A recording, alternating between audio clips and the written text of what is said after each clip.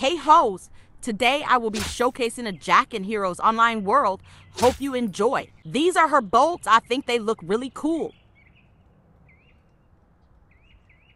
I love her shield. It's really pretty and powerful.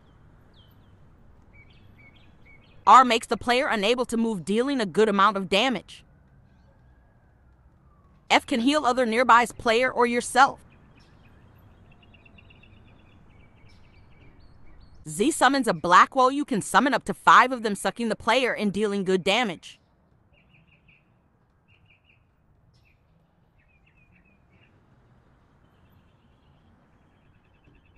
X summons a laser where you click and deals lots of damage. C is her ultimate. It summons a robot, and once you click on C again, they summon a black, all dragging all players into it, dealing so much damage.